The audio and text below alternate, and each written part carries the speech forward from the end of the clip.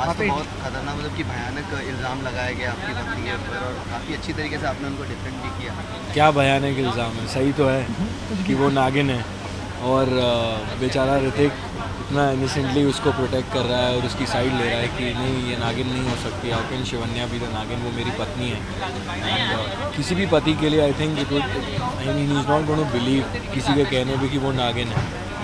Because जो वक्त ऋतिक शिवन्या के साथ गुजार रहा है और जिस तरह से मतलब जिस तरह से वो उससे प्यार करता है आई डोंट थिंक कि वो उस पर शक करेगा। And I think love is all about trust and loving someone blindly so that's what Hrithik was doing लेकिन आपके डैड देखे कि जैसे वो भी जेम्स बॉन्ड बन बोले ना कि कुछ उपाय हैं। उनके पास वो जेम्स वो जेम्स बॉन्ड ही है।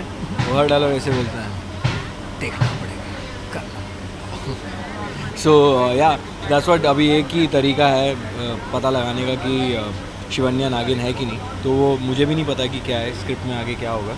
But let's see if I find out whether she is the Nagin that will be interesting ये पूछेंगे कि अगर मान लो अभी तो इल्ज़ाम लग रहे हैं अगर ये साबित होते हैं तो क्या रिएक्शन होगा कि पत्नी अगर आपकी नागिन है? तो आई एक्चुअली ना मैं सीन के बारे में हर रोज़ सोचता हूँ जब से जब जब से ये शो स्टार्ट हुआ है। कि जब मुझे पता चलेगा कि शिवन्या नागिन है तो मेरा रिएक्शन क्या होगा?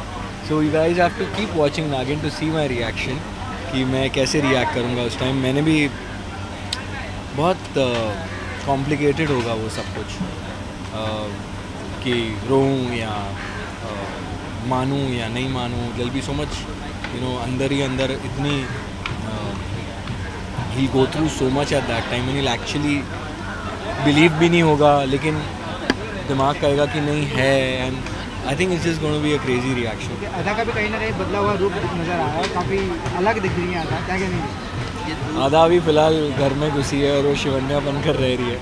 तो I am getting to romance both Ada and Shivanya so I am the lucky man दोनों ही बहुत uh, सुंदर हैं दोनों बहुत अच्छी uh, हैं एज को स्टार्स ऑल्सो तो मुझे बहुत मज़ा आ रहा है इसी से आई एम से and even story wise if you see from the audience point of view it becomes very interesting for them to watch Shesha in the form of Shivanya with Ritik in the house. हाँ काफ़ी अलग Yeah. So there's a bit there's a bit of comedy to it. There's a uh, there's there's a nice flavor of drama to it, and I think that's what लोगों को वो पसंद भी आ रहा है.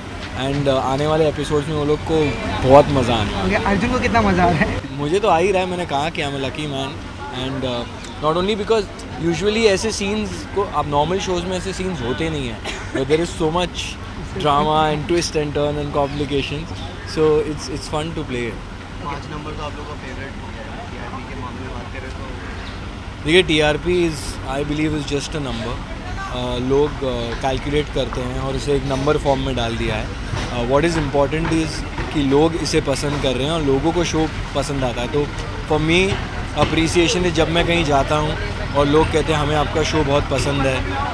You know we really love the drama and we really love your chemistry we really love the romance तो that is my achievement numbers is good for channels and production houses and stuff actor को बस प्यार चाहिए होता है जो audience they रही है और मैं बस वो वही सोचता हूँ।